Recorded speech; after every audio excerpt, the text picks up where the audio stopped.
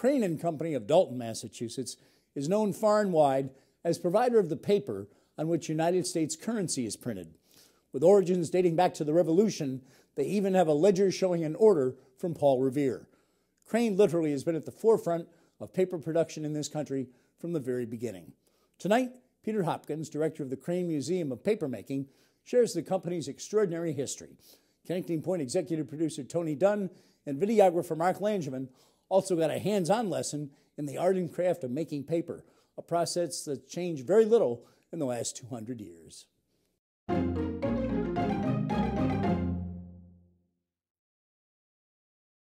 Everybody carries some of our product, US currency paper, but they know so little about it. People tend not to know an awful lot about their money, but we try and teach them some things that they don't know.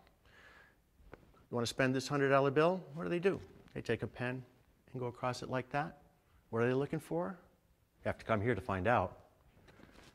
If you want to do a counterfeit, it'll end up being on paper that fluoresces under ultraviolet. US currency paper does not. So, why do these fluoresce? You're going to have to come here to find out.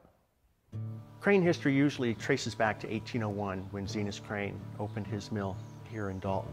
But actually, the Crane family history of papermaking goes back to 1770.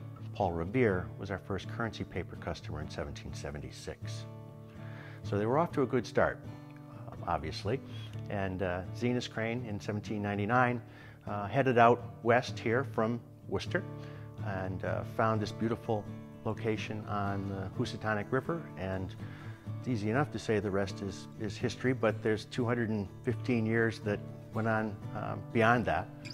Um, looking at Crane um, today, um, very, very well known, obviously, for its fine engraved letterpress, 100% cotton, stationery, but most famous for making all the paper for United States currency, and they've done so since 1879.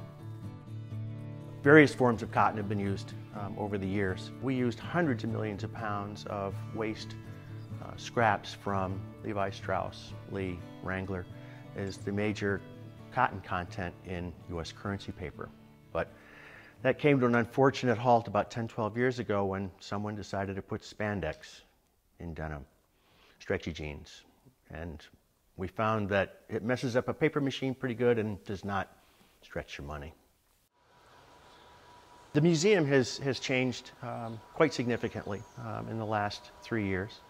Um, we've added retail space and we've added hands-on space. The newest addition is, is a papermaking facility um, out back, which is used uh, as an extension on the visitor's experience, but also as what's called a maker space.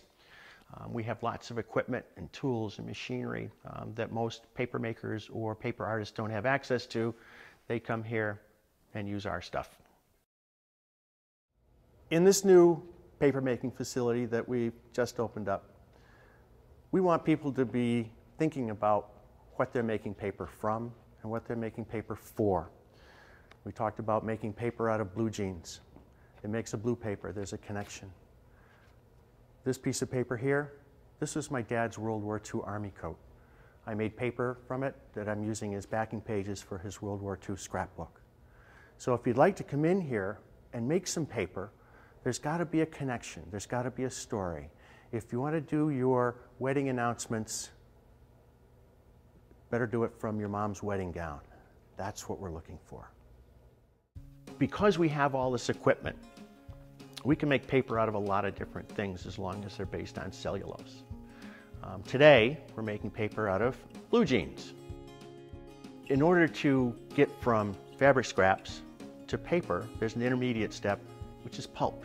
So papermaking in its simplest form, which this is, whether it's in the mills or here, is simply removing a measured amount of fiber from your pulp using a screen. And the second process, both in the mills and here, is suction. And I'll apply the suction underneath the screen, and when I do, you'll see the instant when pulp turns to paper. So at this point, we're probably about 70, 75% water, and then we've gotten all that we can get out by suction. So the third process in getting rid of the water is pressure. And we cover the paper with another felt, and run it through a series of uh, wet presses. And at this point, the wet paper um, can hold itself up. It's still pretty fragile, but it can hold itself together. Um, so we still have a lot of water left to get rid of, and the last process is heat. The last process to get rid of water is heat. We have a heated drum here. Cover it with a felt. Turn it on.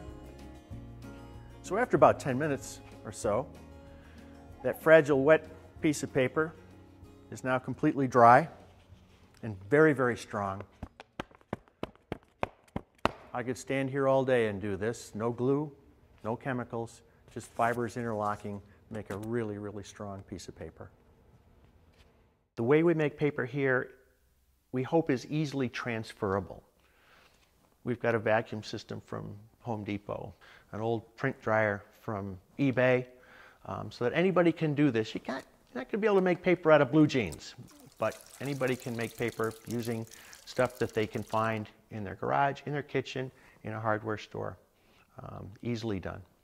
We don't take ourselves very seriously. We're very informal. Um, and people come in here and we get to teach them about light, about chemistry, about feel and sound, things that no one knows about because we don't think about our money.